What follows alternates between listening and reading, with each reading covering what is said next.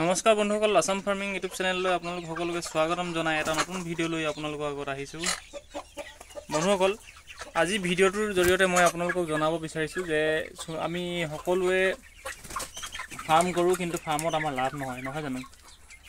লাষ্টত লোকচানৰ সন্মুখীন হ'বলগীয়া হয়। তো মই এতিয়া আপোনালোকক জনাম যে আপোনালোকে কেনেকুৱা ধৰণৰ মুৰ্গী পালন কৰিলে আপোনালোকৰ লাভ হ'ব আৰু কি আমি পদ্ধতি মানে অৱলম্বন কৰিব লাগিব কেনেদৰে আমি মানে ফাৰ্মত লাভ কৰিব পাৰোঁ ফাৰ্মিঙত আৰু লগতে আমি সোণালী মুৰ্গী একচুৱেলি মই আজি আপোনালোকক জনাব বিচাৰিম যে সোণালী মুৰ্গী পালন কৰি আমি লাভৱান হ'ব পাৰোঁ নে নাই। তো যিহেতু মাৰ্কেটত আজিকালি মানে সোণালী মুৰ্গী এভেইলেবল হৈ পৰিছে আৰু যিহেতু এইটো লোকেল যিটো আমাৰ যিটো থলুৱা মুৰ্গী হয় সেই থলুৱা মুৰ্গীৰ তুলনাত সোণালী মুৰ্গীটোৰ লাহে লাহে এতিয়া চাহিদা বৃদ্ধি পাই গৈ আছে। তো সেইটো হিচাপত আমি যদি সোণালী মুৰ্গী পালন কৰোঁ নিশ্চয় আমাৰ লাভালাভ হ'ব তো কেনেকুৱা ধৰণে আমি পালন কৰিব লাগিব কেনেকৈ লাভ হ'ব সেইখিনিয়ে মই আপোনালোকক জনাম। বন্ধুসকল আমি সোণালী মুৰ্গীৰ ক্ষেত্ৰত আমি বহুখিনি লাভ কৰিব পাৰোঁ সোণালী মুৰ্গী পালন কৰি আমি ফাৰ্মত।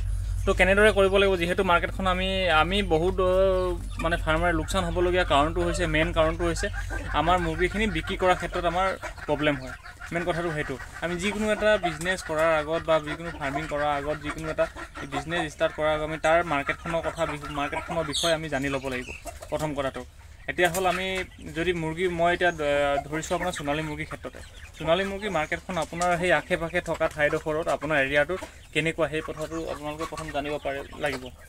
যদি আপোনালোকে মাৰ্কেটখন নজনাকৈ আপোনাৰ আপোনাৰ ওচৰে পাঁজৰে যদি সোণালী মুৰ্গীৰ যিটো চেল হয় সেই চেলটো যদি নাথাকে তেতিয়াহ'লে কিন্তু ডিমাণ্ড যদি নাথাকে তেতিয়াহ'লে আপুনি কিন্তু সোণালী মুৰ্গী পালন কৰি লাভ নাই। তো আপোনালোকে প্ৰথম কথা মাৰ্কেটখনৰ বিষয়ে জানি ল'ব মাৰ্কেটখন কেনেকুৱা ধৰণৰ চলি আছে বা কেনেকৈ ধৰণে আপোনাৰ বিক্ৰী কৰাৰ ক্ষেত্ৰত মানে কিবা অসুবিধা হয় নেকি বা দাম ৰেট ৰেটটো কিমান পায় তো সেইটো হিচাপত আপুনি কষ্টিংটো মিলাব লাগিব। আপোনাৰ যদি সোণালী মুৰ্গী এক কেজিত যদি দুশ টকা কৰি বিক্ৰী কৰে আপোনাৰ এৰিয়াটোত বিক্ৰী হয় তেতিয়াহ'লে কিন্তু আপুনি মুৰ্গীখিনি দুশ টকাৰ তলত নিশ্চয় উলিয়াব লাগিব। ৰেডি কৰিব লাগিব এক কেজি হোৱালৈকে মানে ডেৰশ টকামানত কৰিব লাগিব তেতিয়াহে আপোনাৰ পঞ্চাছ টকা এটা প্ৰফিট থাকিব। সেই তেনেকৈ। কিন্তু আপোনাৰ কি হয় সোণালী মুৰ্গী যদি আমি পালন কৰোঁ আমাৰ ডেৰশ টকাত এক কেজি কৰিব আমি কেতিয়াও নোৱাৰোঁ। কথাটো হ'ল সেইটো। আৰু মই যে যিটো দুশ টকা বুলি ক'লোঁ সেইটো মানে জাষ্ট এটা চাবি ল'বহে কৈছোঁ। কিন্তু এতিয়া বৰ্তমান মাৰ্কেটত আমাৰ সোণালী মুৰ্গীৰ যিটো ৰেট হয় হ'লচেল ৰেটটোৰ কথা কৈ আছোঁ মই টু এইট্টি টু নাইণ্টি এনেকুৱা ধৰণৰ হৈ আছে। আৰু ছিজনত মানে যেতিয়া বহাগ জেঠ আহাৰ এনে বহাগ জেঠত এনেকুৱা ছিজনবিলাকত ইয়াৰ যিটো হ'লচেল প্ৰাইচ হয় চাৰে তিনিশলৈকে গুচি যায়। তো সেই গতিকে আমি ছিজন চাই চাই আমি যদি সোণালী মুৰ্গী পালন কৰোঁ তেতিয়াহ'লে আমি নিশ্চয় লাভৱান হ'ব পাৰোঁ।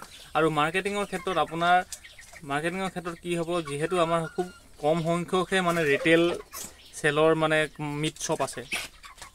বা যিকেইসকল থাকে যিকেই মানে কেইজন বা যিকেইটা আপোনাৰ এৰিয়াটোত শ্বপ আছে সিহঁতৰ লগত আপুনি প্ৰথমে কণ্টেক্ট কৰিব লাগিব যে আপোনালোকে মোৰ এই মুৰ্গীখিনি ল'ব পাৰিবনে নাই।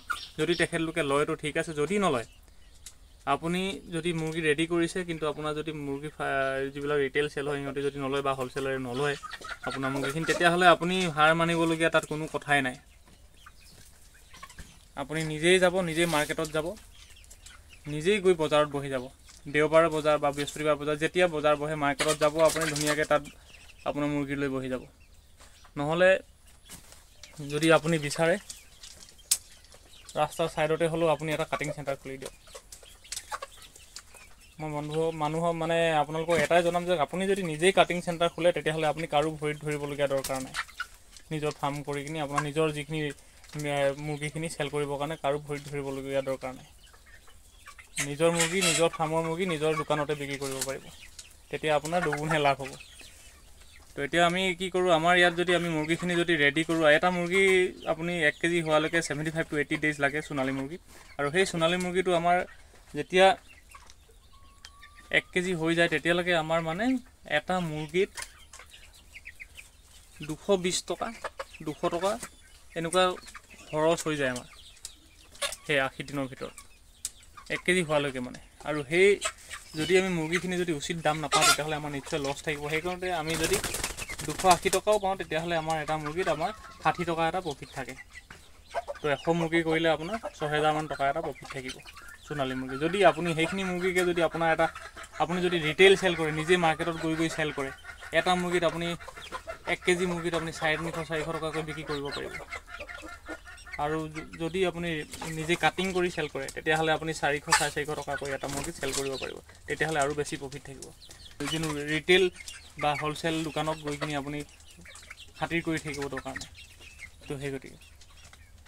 তো সোণালী মুৰ্গী মাৰ্কেটখন ইমান বেয়া নহয় আমাৰ অসমত। এতিয়া যিহেতু গুৱাহাটীততো সোণালী মুৰ্গীৰ প্ৰচলন বহুত বেছি আছে। সোণালী মুৰ্গীৰ মাৰ্কেটখন বহুত ভাল গুৱাহাটীত। ইয়াৰ ডিমাণ্ডো বেছি আছে। কিন্তু এটা কথা লক্ষ্য ৰাখিব আপোনালোকে যদি নিজেই যেতিয়া বিজনেছ কৰে নিজেই যেতিয়া চেলিং কৰে আপুনি কাষ্টমাৰক ঠকিবলৈ নাচাব। মানে কাষ্টমাৰ যেতিয়া আহে আপুনি সোণালী মুৰ্গীটো লোকেল কৰি নিবিকিব। কাৰণ কেলৈ? লোকেল বুলি কৈ কিনি যদি সোণালী মুৰ্গীখিনি বিকা যায় তো সেই কাষ্টমাৰটোক আপুনি এদিন ঠকিব পাৰিব দুদিন ঠকিব পাৰিব। কিন্তু পিছত যেতিয়া গম পাব তো আপোনাৰ পৰা মুৰ্গী নিকিনা হ'ব। বা সেই মুৰ্গীৰ যিখিনি মানে বিক্ৰী বিক্ৰেতাৰ ওপৰতে মানে সন্দেহ উপজিব যে সিহঁতি লোকেল বুলি সোণালী মুৰ্গী বিকি থাকে। সোণালীটো সোণালীয়ে বুলি কৈ বিকিব সোণালী জাম যিটো হয় সেইটো ল'লেও আপোনালোকৰ লাভ থাকিব লোকচান নহয়। তো সেই গতিকে সেইটো এটা মোৰ অনুৰোধ। আৰু এই সোণালী মুৰ্গী ফাৰ্ম কৰি মানে আমি নিশ্চয় লাভৱান হ'ব পাৰোঁ যদি আমি এশ কুকুৰাত যদি ছহেজাৰ টকা পাওঁ প্ৰফিট মিনিমাম মানে। তেতিয়াহ'লে কিন্তু আমি এহেজাৰ পুহিলে ষাঠি হাজাৰ টকা পাম। আপোনাৰ আশী আশী দিনৰ ভিতৰত। বন্ধুসকল আশা কৰোঁ আপোনালোকে নিশ্চয় মোৰ এই ভিডিঅ'টোৰ পৰা যথেষ্টখিনি জানিব পাৰিছে। আৰু যদি আপোনালোকে মোৰ এই ভিডিঅ'টো চাই ভাল পাইছে অনুগ্ৰহ কৰি লাইক কৰিব শ্বেয়াৰ কৰিব আৰু কমেণ্টত জনাব। এই ভিডিঅ'টো মই ইমানতে শেষ কৰিছোঁ। বন্ধুসকল ধন্যবাদ।